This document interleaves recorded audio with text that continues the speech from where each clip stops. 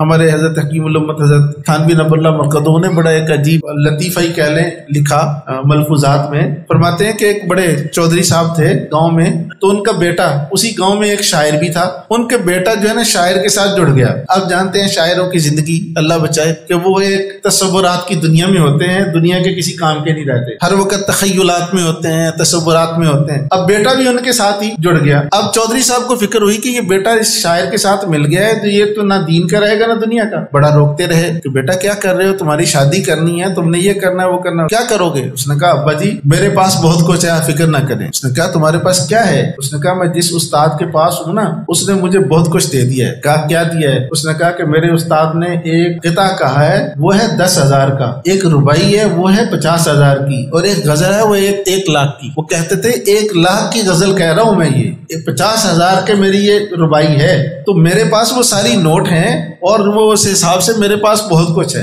अब्बा ने समझाने के लिए कहा कि, बेटा, आज ना अपनी एक रुबाई से को घर की सब्ज़ी तो लाकर दो। पता चले तो क्या इसको समझ आ जाएगी? वो अपनी डायरी लेकर गया, जिसमें वो था शेयरों का रेट लिखा हुआ तो मंडी में चला गया और जाकर एक साहब से कहा कि, दो किलो आलू और दो किलो सब्ज़ी और दो किलो फला चीज़, टमाटर वगैरह, ये सारी चीज़ें कर दो। पैसे कितने हुए? उसने जब तोल दिया तो बताया कि पैसे, मिसाल के तौर पर तीन सौ रुपया हो गया। तो उसने एक पाँच सौ वाला वहाँ शेयर फाड़ा और उसको फाड़ कर दिया कि, ये पाँच सौ के शेयर तुम्हें दे रहा हूँ तीन सौ काट लो, दो सौ मुझे वापिस दे दो। वो सब्ज़ी वाला उसने कहा कि क्या तेरा दिमाग खराब है? ओ भाई, लाल नोट दो तीन हमें। ये क्या कागज़ का टुकड़ा तुमने दिया हमें? उसने कहा, ये पाँच सौ का शेयर है, पाँच सौ का। ये लिखा हुआ मेरे उस्ताद ने बताया। उसने कहा, बेवकूफ़ चल यहाँ से। दिमाग मेरे पास टाइम नहीं है। साथ वाले के पास चला गया। उसके साथ भी यूँ ही किया। सारा कुछ तुला लिया और वो शेयर उसको दे दिया कि पाँच सौ का शेयर दे रहा हूँ। अपने पैसे काट कर बकाया मुझे दे दो। उसने कहा, ये तो बेवकूफ़ है। जब तीसरी दुकान पर गया ना तो उसने कहा, ये मेंटल आया हुआ है, पकड़ो इसकी। टुकाई लगाओ यहाँ। ये ऐसे खाम का सौदा तुलवा लेता है, पैसे है नहीं शेयर बेचता फिरता है। अब वो जब उसकी कुटाई उन्होंने लगाई, तीन चार लोगों ने मिलकर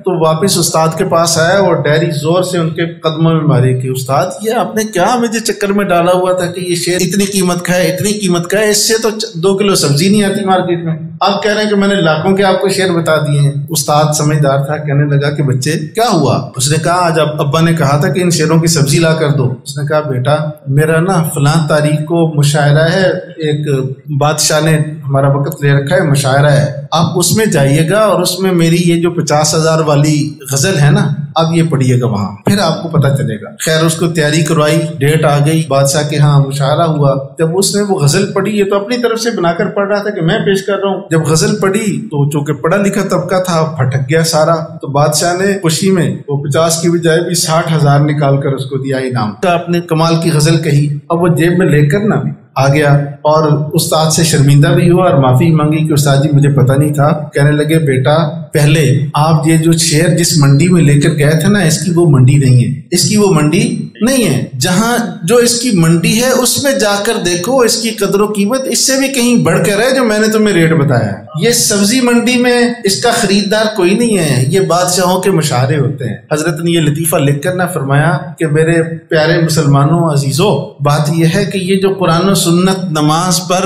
रोज़े पर, हज पर, कुरान पर, ये जो सारे तुमसे वादे हैं ना, इसमें दुनिया की मंडियों में इसकी कोई कदर कीमत नहीं है, यहाँ सारे सब्ज़ी वाले बैठे हुए हैं। इनको क्या पता, इस कुरान करीम की एक आयत पे क्या मिलेगा, यासीन पे क्या मिलेगा, वाक्य पे क्या मिलेगा सूर्य इखलास पढ़ने पर क्या मिलेगा, एक मरतबा सुबहान अल्लाह कहने पर क्या मिलेगा, ये सब्ज़ी फरोश हैं सारे के सारे।